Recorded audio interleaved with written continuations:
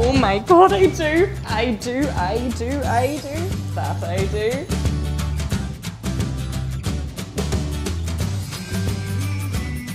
Hello everyone, Dia dhaoibh. So happy Dave, I just got engaged to with a claddagh ring. And let me show you what is on this ring. In the inside of the ring is actually engraved. It says love, loyalty and friendship. So as you can see here, we have the two hands that represents friendship.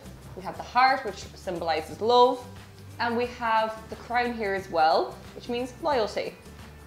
So as I got engaged to, I will pop it on my left finger and the heart will be pointing outwards, which shows the relationship status that you are engaged.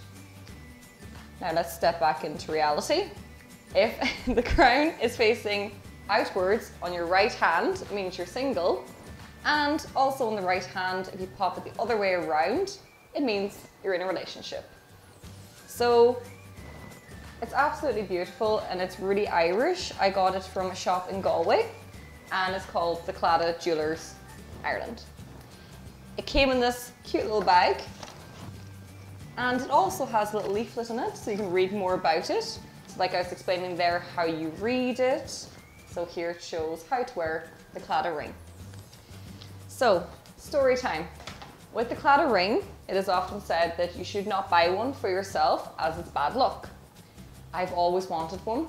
So when I went to Galway, I said to my friend, okay, you go in, you buy me one. If you want one, I'll buy yours. So we picked out our little rings.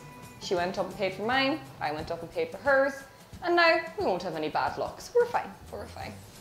So until next time, why not go get yourself a Claddagh ring and have it as a little token from Ireland. See you next time. Slán go fóill.